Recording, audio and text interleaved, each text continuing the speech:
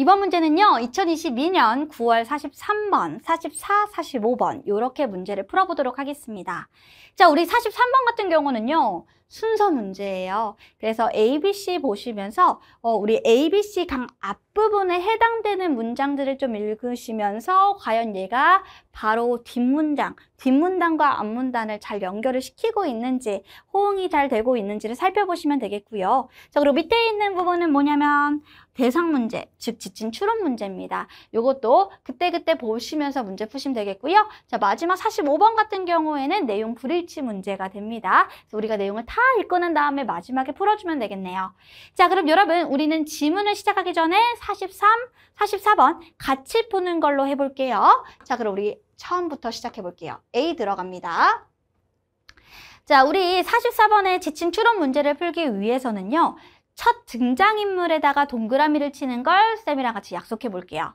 자, 쌤은 이 문제를 풀 때요. 먼저 A, B, C, D, E를 보면은 여기 봤을 때 어, he, him 이러잖아요. 아, 남잔데 첫 등장하는 남자는 무조건 동그라미 쳐야지라고 생각을 합니다. 그럼 가볼게요. 시작해요. 한 소년이 자, 한 소년이 장소에 있었어요. 어떤 장소? 한 마을에 최고의, 즉 최고의 학교의 한 장소에 있었대요. 자, 아침에 그의 할아버지가 그를 데리고 갔답니다. 여러분, 여기 그의 할아버지도 체킹. 그러니까 소년과 할아버지가 있는 거예요. 자, 이 할아버지가 손자를 데리고 학교를 갔거든요. 그 학교 갔어요. 그리고 그가 그의 손자랑 여러분 granddad와 grandson은 반대죠. 요게 grandson이고 여기가 granddad가 되겠습니다. 그러면 하라, 여기 손자를 데려간 건 여기는 할아버지죠. 우리가 여기다가 할아버지니까 dad, d라고 적을게요. 그리고 손자는 우리 son을 넣을게요.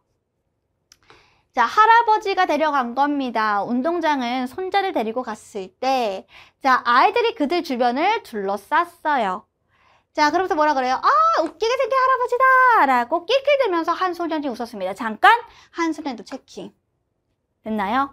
이 말은 그 학교에 있는 특정 학생이 낄낄거린 거죠.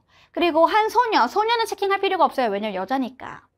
자, 여러분, 갈색깔의 머리, 갈색 머리를 가지고 있는 여자애가 가리켰어요. 그 쌍을 가리켰다는 거 할아버지랑 손자를 가리키면서 막 이렇게 뛰었대요. 그죠? jump and down. 이거 뭐예요? 결국에는 놀린 거죠. 그죠? jumps up and down. 갑자기 종이 치면서 아이들이 다시 어디로 갔어요? 그들의 첫 수업으로 달려갔대요. 자, 이렇게 됐습니다. 그럼 여러분 A 다음에 들어갈 말이 뭔지를 살펴보셔야 되는데요. 자, B를 다 읽지 않고 좀 적당히 읽고 난 다음에 얘가 정말 A 바로 뒤에 들어가도 괜찮을까 생각해 보시는 거예요. 여러분, 요건 이야기이기 때문에 머릿속으로 조금 상상할 필요가 있어요. 자, 여러분들 머릿속에 뭘 상상해요? 할아버지랑 그리고 손자랑 학교 운동장에서 단둘이 있는 거. 근데 방금 전까지 막 놀림을 당했다가 조용해진 그런 상황입니다. 자, 그럼 가볼게요. 자, B를 보시면 자, 일부 학교에서 어린이들이 완전히 무시했어요. 누구를? 노인. 여기서 노인, 그 노인을 무시했죠. 그리고 다른 학교에서는 어린이들이 그를 조롱했어요. 이때 그가 누구예요? 당연히 할아버지를 조롱했다고요. 자, 이런 일이 있을 때 할아버지는 슬프게 돌아서서 집으로 갔다. 자, 이렇게 해주시면 되는데요. 갑자기 일부 학교라고 나오고 그리고 여기에 손자가 빠져 있어요. 그래서 할아버지만 학교를 간 상황이 돼버리는 거기 때문에 갑자기 B가 나오면 이상하다는 거를 감지하시고 그래서 우리는 C로 한번 가보도록 할게요. 자, C를 보시면 그 노인이 뭐예요? greeted. 자, 인사를 하는 겁니다. 그에게 반갑게 인사를 하면서 말한대요. 마침내, 어? 제가 발견했군요. 제 손자에게 즉 내가 찾아줬군요. 제 손자에게 최고의 학교를 찾아줬군요. 라고 얘기합니다. 그런데 뭐라 그래요? 아니에요. 어르신 실수예요. 어, 잘못 보셨어요. 저희 학교는 최상의 학교가 아닙니다. 작, 작고 비좁은걸요? 라고 말하죠. 자, 그래서 요 그 노인이 이제 할아버지는요, 뭐 하지 않았어요? 어, 논쟁하지 않았습니다. 그 선생님과. 그럼 여러분 여기서 the teacher, 새로운 인물이죠? 자, 그 선생님이 여기로 들어가야 됩니다. 알았니?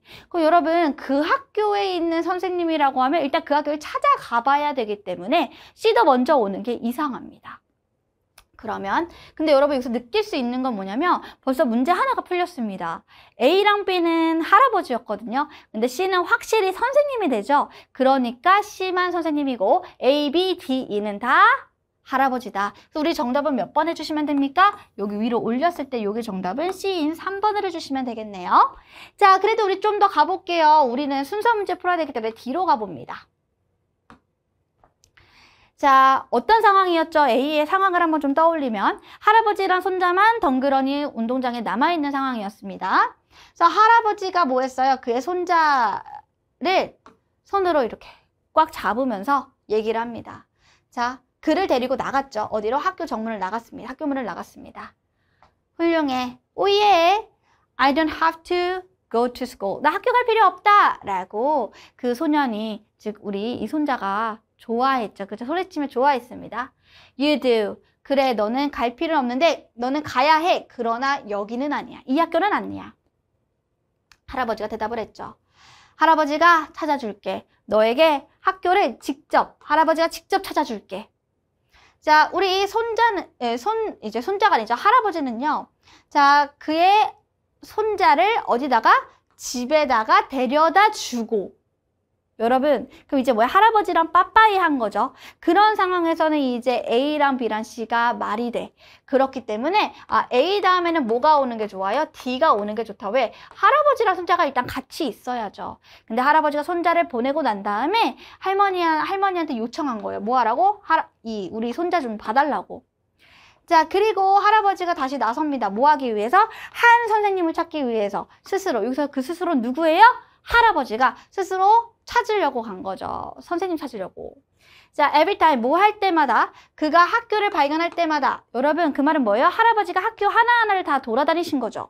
그럴 때마다 그 노인은 어딜 갔어요? 운동장을 갔고 그리고 기다렸던 겁니다. 아이들이 뭐 하도록? 나오도록. 언제? 점심시간에 그러니까 어, 쉬는 시간에 나오도록 기다렸대요. 그러면 각각의 학교를 갔을 때 아이들의 반응이 나온 부분이 어디였어요? 우리 B 아니었습니까? 그래서 한번 B로 가볼까요? 여기 보시면 그래서 일부 학교에서는 애들이 무시하고 또 일부 학교에서는 막 조롱하고 이런 일이 일어, 일어나서 할아버지는 슬프게 돌아갔었죠. 마침내 한 작은 학교의 작은 조그만 운동장으로 그가 갔는데요. 자, 그럼 이때 그 작은 학교, 비, 그 작고 그 비좁은 학교가 어디였어요? 괜찮은 선생님이 있는 학교였겠네요. 그래서 B 다음에 C로 가면 어떨까 싶습니다. 그래서 D, B, C가 어떨까라는 생각이 드는데 일단 더 가보도록 할게요. 자, 보시면 종이 울리고 이제 또 아이들이 나와요. 어디로? 운동장으로 나와요. 어, 할아버지 괜찮으세요? 라고 얘기를 하죠. 자, 펜스에 기대어 있고 지쳐있는 할아버지를 보면서 얘기를 하는 겁니다. 어, 제가 물 한 잔 갖다 드릴까요? 또 다른 학생이 얘기를 하네요. 자, 저희 학교, 저희 학교에 지금 운동장에 벤치 있어요. 여기 와서 앉으세요. 라고 하는 말도 있어요. 곧 젊은 선생님이, 여러분 여기서 젊은 선생님이 처음 나옵니다. 그쵸? 진짜로 이제 젊은 선생님이 out, 나오셨어요. 어디로? 운동장으로 나왔죠. 자, 그럼 어때요? 이렇게 운동장으로 나와서 이 친절한 학교를 갔어. 그리고 마주한 상황에서 이 노인이 할아버지가 누구를 반갑게 인사해요? 요 선생님을 반갑게 인사하는 거죠. 그래서 우리가 여기서 C는 선생님이고 새로운 선생님이고 나머지는 다 할아버지라는 거 확인할 수 있었고요. 이렇게 글이 흘러간다고 하면 우리가 DBC라고 해서 정답은 4번이 되겠네요. 자, 그러면서 뭐라고 합니까? 여기 마무리를 좀 지어보도록 할게요. 이 선생님이 그랬잖아요. 어, 이 선생님이, 아, 우리 학교 최고의 학교가 아니다. 어, 뭐 이렇게 비좁고 조그맣고 막 그런데. 자, 대신에 이제 할아버지가 준비를 했어요. 뭐 할 준비? 그의 손자를 그 학교로 보낼 준비를 했습니다. 그런 다음에 이제 할아버지는 떠났어요. 자, 그날 저녁에 그 소년의 엄마가, 엄마가 누구예요? 할아버지의 딸이죠. 할아버지 딸이 할아버지한테 얘기를 하는 거예요. 아빠, 아빠 글도 못 읽을, 못 읽으시잖아요. 읽을 수 없다. 심지어 글도 못 읽으시면서 어떻게 하셨어요? 어, 그곳에 모든 학교의 그 최고의 선생님을 어떻게 찾으셨어요? 선생님은 판단하는 거야. 뭘로? 제자로 판단하는 거야. 라고 할아버지가 대답을 하셨죠. 자, 이렇게 얘기가 끝나게 됩니다. 자, 그럼 우리가 윗글의 내용으로 적절하지 않은 것을 골라보셔야 되는데요. 갈색머리 소녀가 노인과 소년을 향해서, 소년을 향해서 손가락질 했고요. 포인했죠. 노인은 지쳐서 울타리에 기댔다라는 말이 나와 있죠. 어디 썼습니까? 여기 윗부분에 있었나요? 살짝 윗부분을 보시면 여기 이 글을 보고 우리가 확인을 할 수가 있습니다. 2번도 맞고요. 노인은 선생님과 논쟁을 벌였나요? 자, 여기 보시면 뭐라고 되어져 있느냐. 자, 논쟁을 벌이지 않으셨다. 오히려 정답은 3번이 되겠습니다. 논쟁을 벌이지 않으셨고요. 자, 노인은 글을 읽을 줄 몰랐다는 어디서 확인할 수 있습니까? 뒤에서 봤을 때 딸이 아빠한테 그랬죠. 아빠 글 못 읽으시잖아요. 라고 얘기했던 부분을 확인할 수 있고요. 소녀는 학교에 가지 않아도 된다고 소리쳤다라고 하는 부분은 뒤에서 확인할 수가 있습니다. 어디 나와 있나요? 여기 이 부분에 나와 있죠. 됐나요? 그래서 우리가 이렇게 각 문제들의 문, 문, 어, 문제들을 풀어봤습니다. 여러분 순서는요 항상 이렇게 제목을 어, 여기 있는 이 순서 말, 요 순서 에서 항상 이 45번이 맨 마지막으로 풀린다라고 생각해 주시면 되겠습니다. 여러분 고생하셨습니다.